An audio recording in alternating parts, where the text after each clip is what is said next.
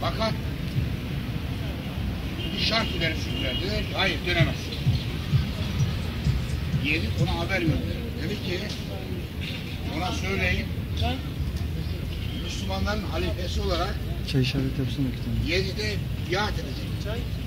Bilinecek ki peygamberin torunu Hüseyin Yezid'e biat etmiş. Bütün İslam dünyasına ve bütün kamuoyuna bu şekilde yansıyacak. Aksi halde kendisi öldürülecek. Yanındakilerin tamamı da kılıçtan geçirilecek. Hazreti Hüseyin dedi ki ben bu söylediğinizi asla kabul etmiyorum. Savaşmayacağım, geri döneceğim, bırakın gideyim. Hayır gidemezsin, biat et. Biat et, duyacak. Bunu reddediyorum dedi.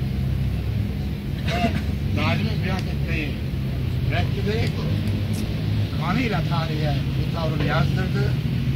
Yanındakilerle beraber 72 kılıçtan geçirildi. Hazreti Hüseyin'in kafasını kestiler. Cesedini üç gün boyunca attı birliklere çiğnettiler. Bu da yetmiyormuş gibi Kerbela'dan sonra Medine'yi bastılar. Medine'de 900 tane sahabe kadınına tecavüz ettiler. Bu da yetmiyormuş gibi Mekke'ye saldırdılar. Mekke'de Kabe'yi mancınıklarla, ateşlikler ve Allah'ın evi Kabe cahil cahil yandı. Daha bundan sonra ortada İslam diye bir şey kalır mı?